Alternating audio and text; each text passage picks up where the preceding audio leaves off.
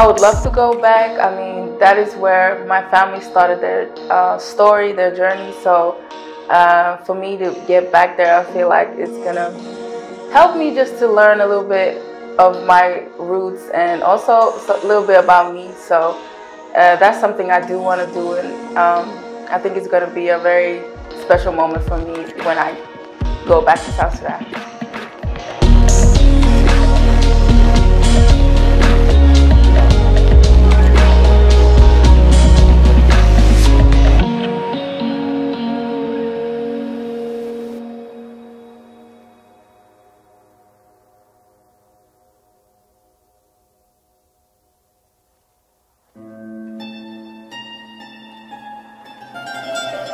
My real name is Awak, but here in Italy, they really don't know how to pronounce it.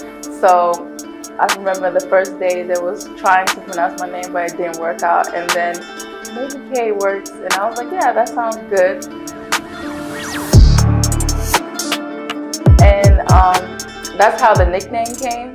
And Hiba is my second name. That's what my parents call me. It means gift getting a gift because I was the first daughter my mom had and she was wishing for daughters. She had four uh, sons, so she was she always wanted a daughter, so that's why she called me a gift.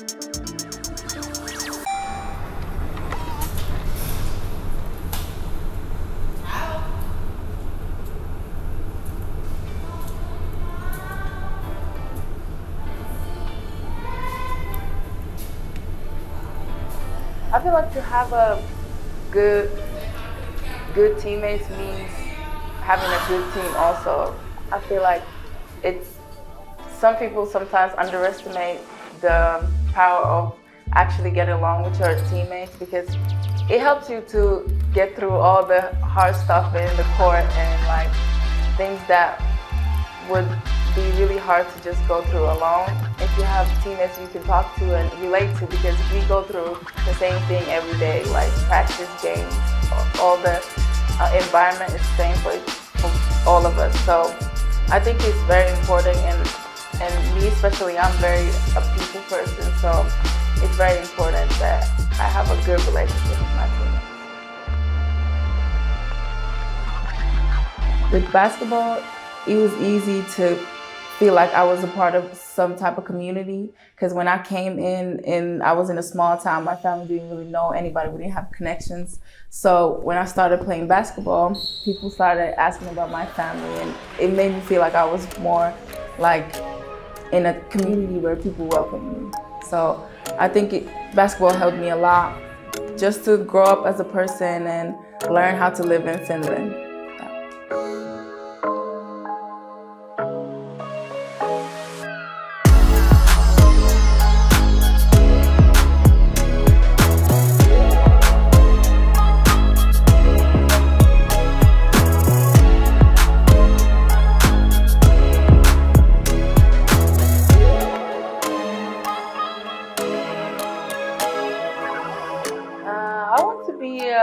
Strong and very like brave looking person because I feel like um, there's a lot of people that in Finland that look like me and maybe don't have the same opportunity that I have, but they have the talent, but they don't have the courage to go out there and take risks and do something crazy. So I wanna, I wanna be um, role model who can say like, you you can do it. If I can do it, you can do it. Like that type of role model. Yeah.